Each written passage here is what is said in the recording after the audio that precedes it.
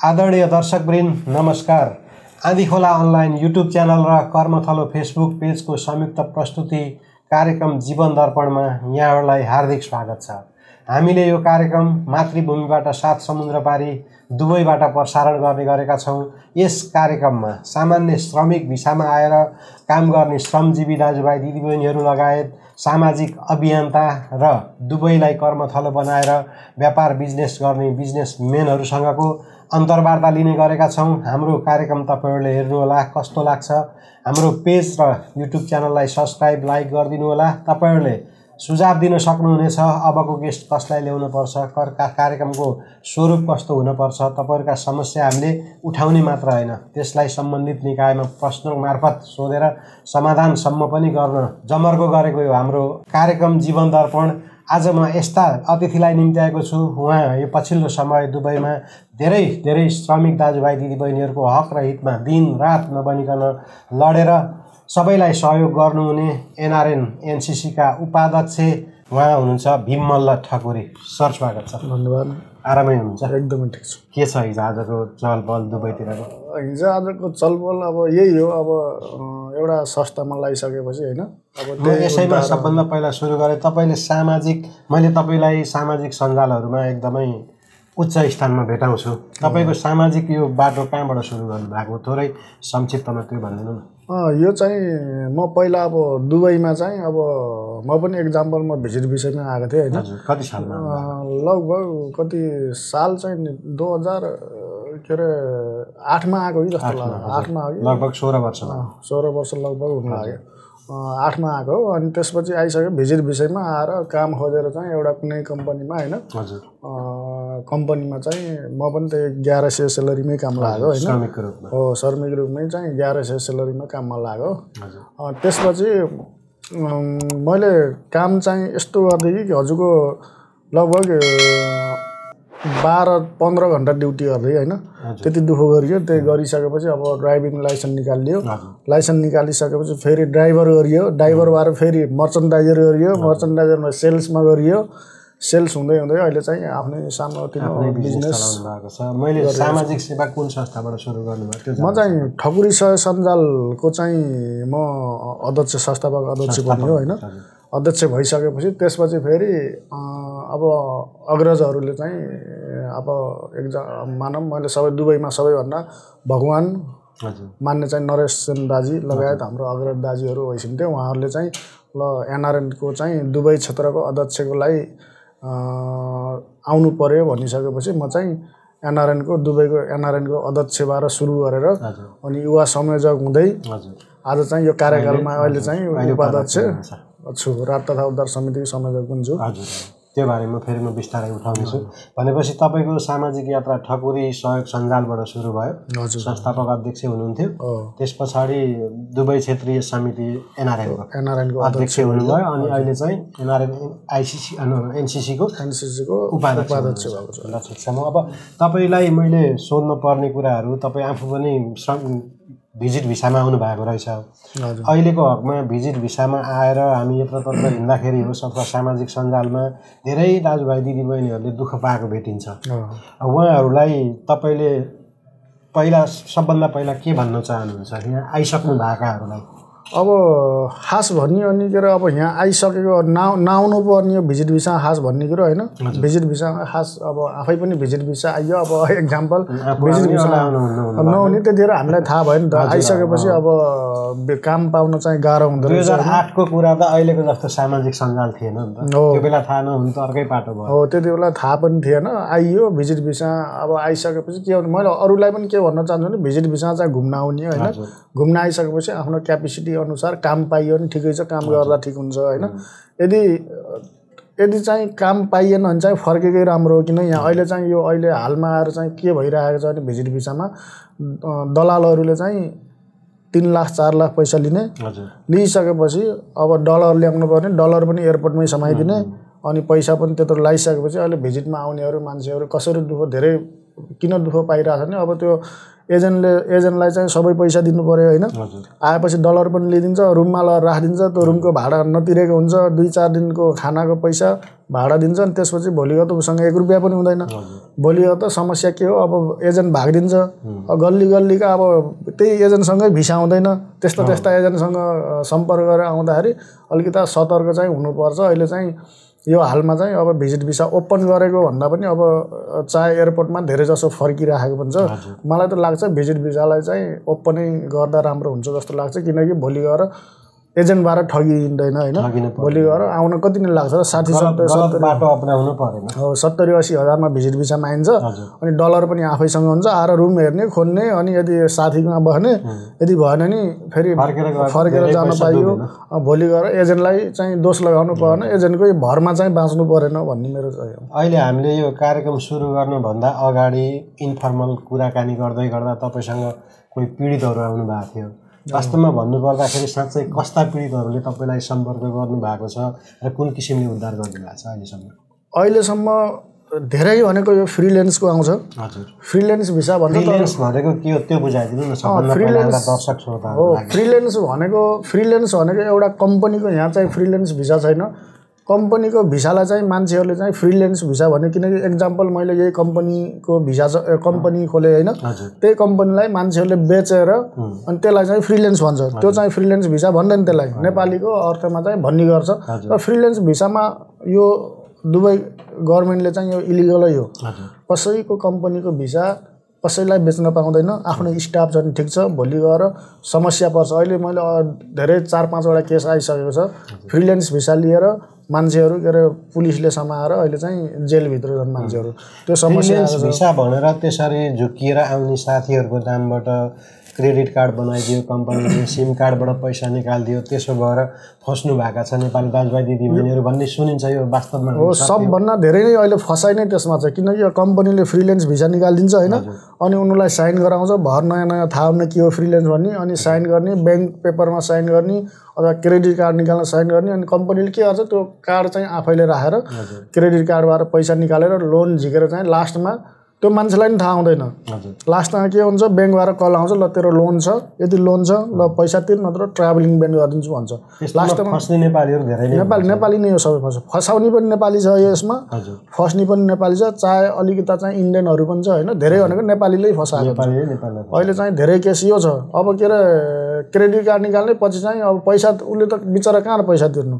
भोलि गएर लास्टमा ट्राभलिङ ब्यान गर्ने धेरै जसो मान्छे मैले दुई तिनजना आत्मै हत्या गरेको देखेको छु त्यो ब्यानमा चाहिँ ट्राभलिङ ब्यान अँ, त्यो केसमा पैसा तिर्न पनि सकेन नेपाल फर्किनु पनि सकेन। लास्ट उपाय भनेको आत्महत्या। आत्महत्या गर्ने। यो धेरै भइरहेको छ र दोस्रो कुरो अघि हजुरले भन्नु अहिले आएको पिँढी मसँग अफिसमा लगभग बिस तिसजना दिनमा आउ- आएको हुन्छ पिँढीहरू होइन?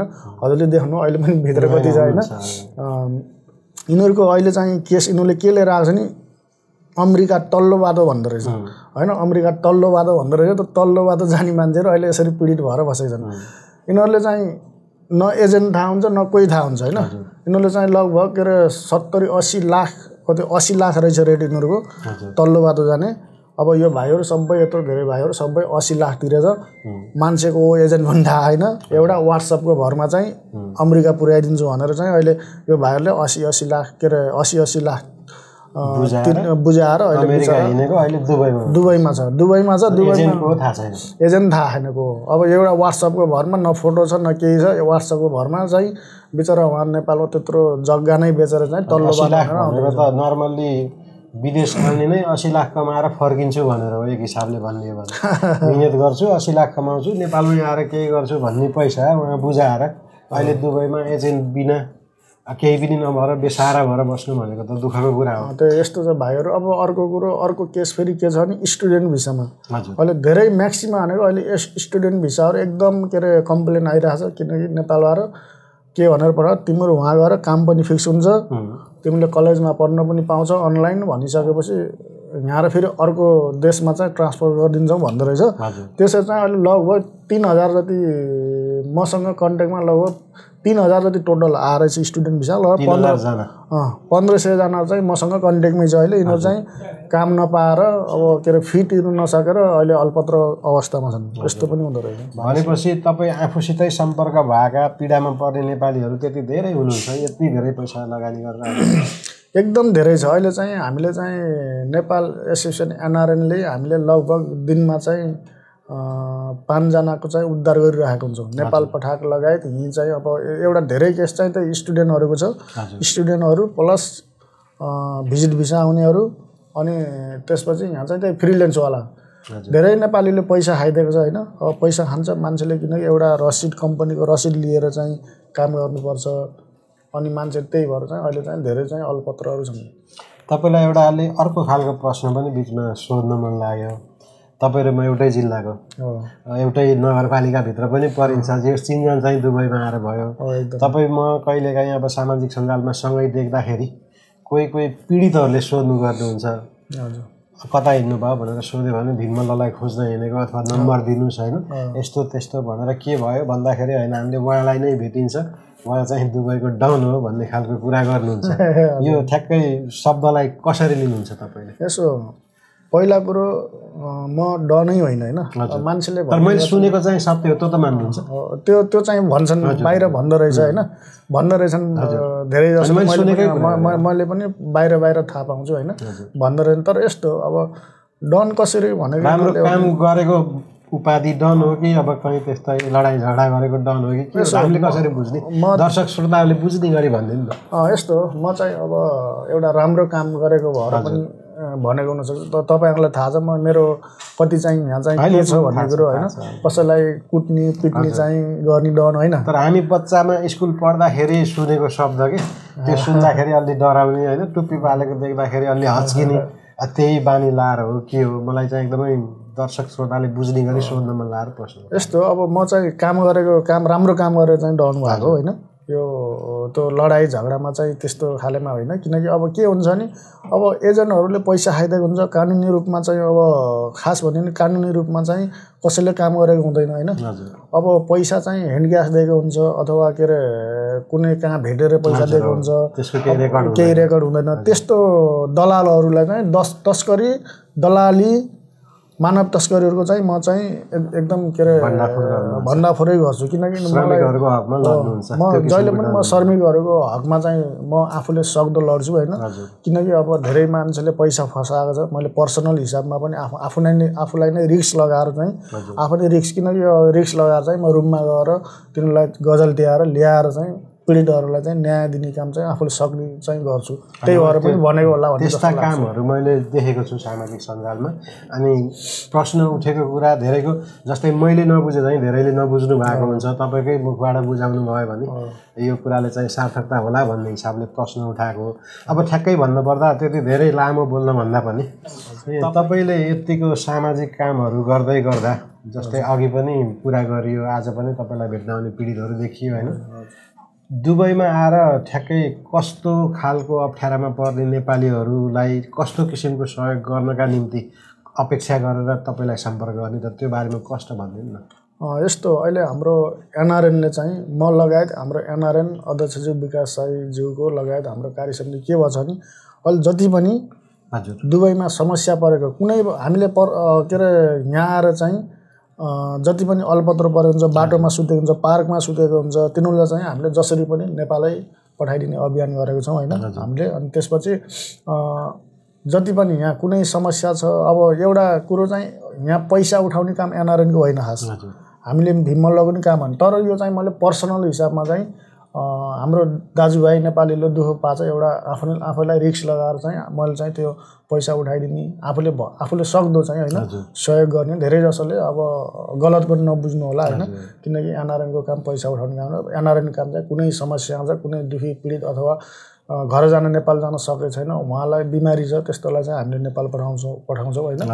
अब कुनै पनि समस्या सोधपुछ गर्नको लागि हामीले जानेको सकेको होइन? हामीलाई यो ल बारेमा सबैले चाहिँ कुनै पनि समस्या चाहिँ हामीले चाहिँ आफूले गर्न सक्ने र एनआरएलले गर्न सक्ने समस्या चाहिँ हामी कुनै पनि समस्या हामीले चाहिँ सहयोग गर्न सक्छौँ र कसैले पनि कुनै नजानेको अथवा नबुझेको कुराहरू पनि सोध्न सक्नुहुनेछ होइन? सबै यस्तो जस्तो सुकै समस्यामा भए पनि सम्पर्क गरेर तपाईँसित सुझावहरू लिन अथवा सल्लाह लिनको लागि जसले पनि सम्पर्क भयो। भिजिटमा आएको यो भन्ने केही पनि छैन। पीडित हुनु पर्यो नेपाली हुनु पर्यो। एकदम एकदमै। सहयोग गर्नुहुन्छ अब लगभग लगभग हामी कार्यक्रमको अन्तिम चरणमा आइसकेका छौँ। कतिपय कुराहरू मैले सोध्न छुटाएको र तपाईँ आफूले दर्शक श्रोताहरूको हितको लागि भन्न पर्ने कुराहरू केही छन् भने भनिदिनु न संक्षिप्तमा। खासै त केही छैन। अब मेरो भनाइ त्यही शर्मी नेपालबाट कुनै पनि भिजिटमा आउनुभन्दा पहिला होइन सोच्नु होला आफ्नो दाजुभाइ अथवा कुनै छ भने चाहिँ होइन भोलि गएर भिजिटमा आएर पनि काम गर्न सक्छु। आफ्नो हिम्मत छ अथवा आफ्नो कला छ त्यो चाहिँ उहाँ चाहिँ आउन सक्नुहुन्छ। तर केही पनि नजानेको मान्छे यहाँ आएर काम पाइन्छ। एजेन्टहरूले कहीँ पनि पैँतिस सय चार हजार सेलरी दिन्छु भनेर चाहिँ त्यस्तो नफस्नु होला। यहाँको रुल्स अनुसार एघार बाह्र सय लेबरको सेलरी हो। त्यहाँ चाहिँ झुक्किनु हुँदैन। त्यही भएर जति पनि अब दुबईमा आउनु हुने सबैलाई मेरो आग्रह के छ भने बुझेर कुनै कम्पनीमा आउनुभन्दा पनि गुगलमा चेक गरेर यो कम्पनीमा आफू दुबई साथीभाइ कोही छ भने बुझेर अहिले त छ सामाजिक सञ्जाल छ उहीँबाट पनि त यस्तो कम्पनीको कुरा आइरहेछ के होला बुझिदिनु भनेर भन्न सकिने कोही न मेरो भनाइ नै त्यही हो। भएको स्थिति छ नि त्यही भएर सबै चाहिँ राम्रोसँग बुझेर मात्रै दुबई आउनु होला शरम गरेर सिकेर वैधानिक बाटोबाट बुझेर मात्रै आउनुहोस् भन्ने कुरा हो। हजुर यति नै अनि अझै एउटा प्रश्न फेरि थप्न मन लाग्यो जो अघिका साथीहरू हुनुहुन्छ तल्लो बाटो बाहिर जाने भनेर आउनेहरूको हकमा चाहिँ के भन्नुहुन्छ? उहाँहरूको चाहिँ के भन्छु भने अब उहाँ चाहिँ के भन्छु भने उहाँ चाहिँ एकदमै अवैधानिक बाटो। एकदमै यो चाहिँ इलिगल हो। हजुर। इलिगल भोलि गएर बाटोमा मैले धेरै सुनेको होइन? बाटोमा मारिदिन्छ अरे पनि होइन? अथवा के अरे त्यहाँ आत्महत्या पनि गर्छन् अरे होइन? अस्ति एउटा यही केसमा के भएको थियो भने लेडिज गएछ होइन? प्रायः लेडिज जाँदाखेरि सबै यो देश छोडेर गइसकेपछि उहाँ त अब दुई नम्बरी बाटो हो नि त। दुई नम्बरीमा चाहिँ केटीहरूलाई चाहिँ ऱ्याप गर्ने अथवा बलात्कार गर्ने त्यस्तो केस पनि आएको छ। अब बाटोमा बलात्कार गर्दै गर्दै जाँदाखेरि अमेरिका पुगिसकेपछि पेटमेन्ट हुँदो रहेछ। त्यस्तो पनि मलाई धेरै केस आयो। त्यही भएर जानेर बुझेर चाहिँ जानुपर्छ किनकि तल्लो बाटो भन्दैमा कुनै एउटा एजेन्ट नै थाहा नभइकन चाहिँ आएर उहाँ गएर रिक्स आफ्नो आफ्नोलाई रिक्स हो भोलि गएर पुगिन्छ पुगिँदैन। धेरै मान्छे बाटोमा पनि मृत्यु भएको छ। त्यही भएर त्यो चाहिँ बुझेर आउन म अनुरोध गर्दछु। समय र संवादका लागि धेरै धेरै धन्यवाद। धन्यवाद तपाईँहरूलाई। आन्ती होला। अनलाइन युट्युब च्यानललाई लगायत हजुर टिम हजुर लगायत हजुर टिमलाई धेरै धेरै धन्यवाद दिन चाहन्छु। आदरणीय दर्शकबिन हाम्रो कार्यक्रम सकिसकेको छ। म लगायत सम्पूर्ण युनिटलाई बिदा दिनुहोस्। नमस्ते।